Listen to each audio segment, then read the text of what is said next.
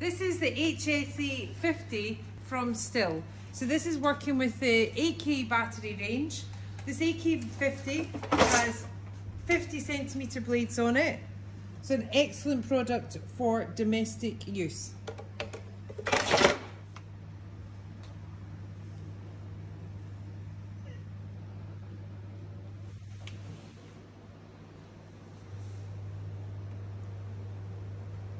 So the HSA 50 comes with the AK battery range.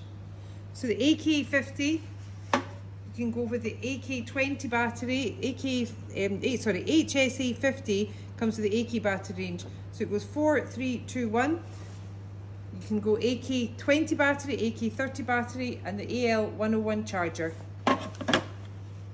This HSA 50 is an excellent product for domestic use, so easy to use put the battery in, double click it into space. You've got a safety feature here.